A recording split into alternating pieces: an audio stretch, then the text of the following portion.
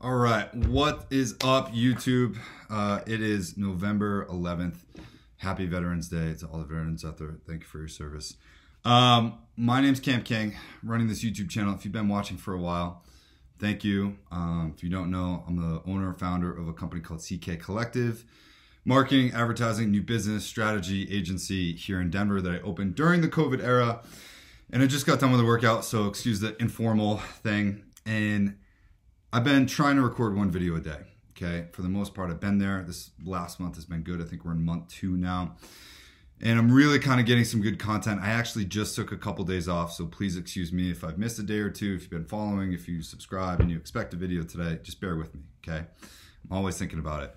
Today's video is something pretty near and dear to my heart, right? I want to talk about over the course of these YouTube videos that you've been watching, I've been talking about what to do when you're having a bad day tips, tricks, strategies, ways to open your mind, reframe, how to think about things. And for the first time in a long time, I mean, I've, I've kind of had just not a good day, right? Do you ever just have a day that's just not going the best? We're like doing one thing, you're like, man, fuck this, I can't get into it. Or you can't get into work and you feel like you're doing all the right things, whether you're working out, journaling, meditating, you slept pretty good and you just still can't get into it. I'm having one of those days today. Okay. I couldn't get into it. It was like trying to get out of first gear if you drive stick shift or know what that is. Okay. And I just couldn't get into second. I couldn't get into third.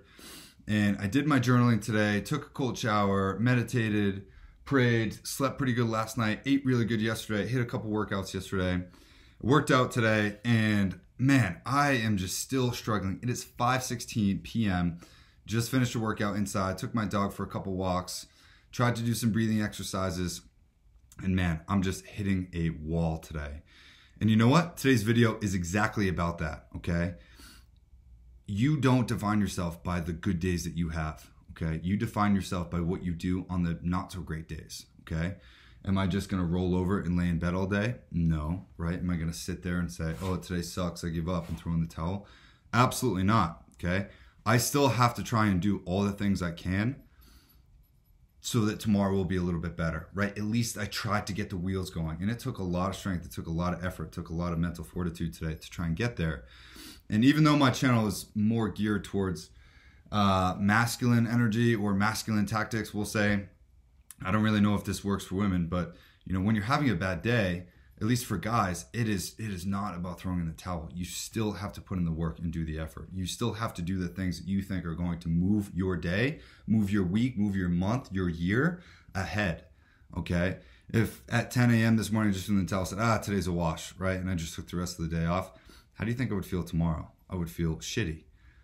Now I'm here working. I have to get back on my grind. There are things that I need to get done, and I'm going to force myself to do them, even if I'm not in the mood, even if it's painful. Okay.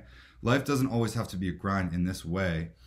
And I just want to make this video to say it's not what you do on the great days that defines your successes. It's what you do on the days in between, the not so great days, that really, really are the baseline of, of where you succeed in life. Okay.